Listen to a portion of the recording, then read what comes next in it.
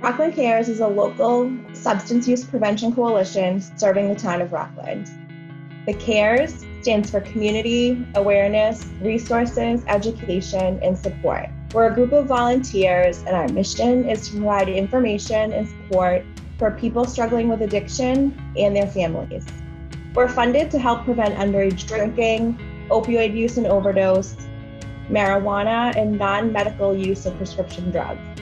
To do this, we educate people with tools to cope with life's challenges.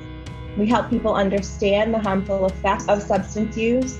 We connect individuals and families with the resources that they need. We work with leaders in the community to build a system of support. Rockland Cares is part of the Brockton Area Prevention Collaborative, a regional group of local substance use prevention coalitions that all work together to share solutions, best practices for our region. To learn more, please follow us on Facebook and Instagram at Rockland Cares, on our website at rocklandcares.org. We're here to help, even if it's from a distance. Together, we are stronger. We care. We're here for you. Even from a distance.